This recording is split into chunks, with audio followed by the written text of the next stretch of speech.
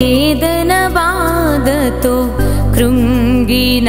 నేస్తమా గురిలేని బ్రతుకుతో అలసిన ప్రాణమా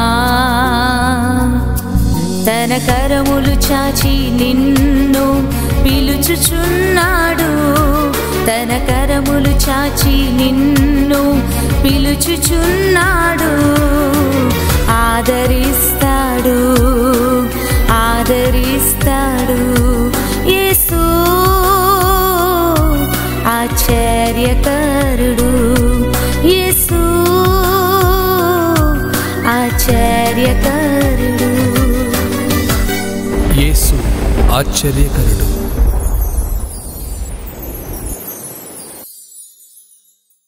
ప్రేజ్ ద లార్డ్ యేసు ఆశ్చర్యకరుడు. అనుదిన వాగ్దానం. యుదే కాలంన దేవుని వాక్యాన్ని చదువుకుందాం. కీర్తనలు ఇరవై రెండో కీర్తన ఐదో వచనాన్ని చదువుతున్నాను. వారు నీకు మొరపెట్టి విడుదల నొందిరి. నీయందు నమ్మికయుంచి సిగ్గుపడలేక పోయిరి. దేవునికి మహిమ కలుగునుగాక. దేవుని బిడ్డలరా దావీద్ అంటున్నాడు ప్రభువా ప్రజలు నీకు మొరపెట్టినప్పుడు వారు విడుదల నొందారు అని దే దావీదు దేవుని సన్నిధిలో ప్రార్థిస్తున్నాడు. నిజమే దేవునికి మొరపెట్టినప్పుడు నీకు విడుదల కలుగుతుంది. మనుషుల దగ్గర నువ్వు మొర మొరపెడితే విడుదల దొరకదు కానీ దేవుని దగ్గర మొరపెట్టినప్పుడు ఆయన విడుదలనిస్తాడు.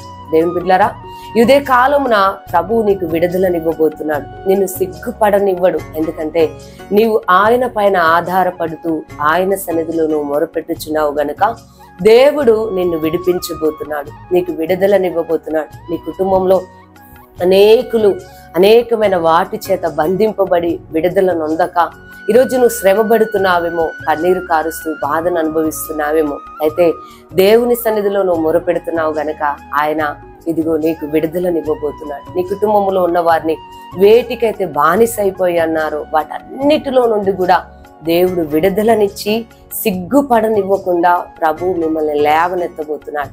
కాబట్టి ఉదయ ఉదయకాలమున ప్రభునందు విశ్వాసముతో ఈ వాగ్దానాన్ని రిసీవ్ చేసుకొని ప్రభునామాన్ని మైంపరచండి. మీ కొరకు చిన్న ప్రార్థన.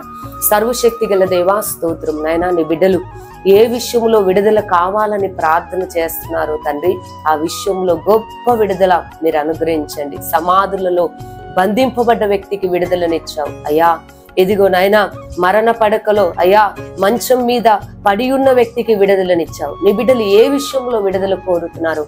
ఆ విషయంలో విడుదల నొంది వారిని మీరు గణపరిచే కృపనిచ్చి మాయం పొందమని ఏసు నామంలో ప్రార్థిస్తున్నాను తండ్రి. ఆమె దేవుడు మిమ్మల్ని దీవించునుగాక.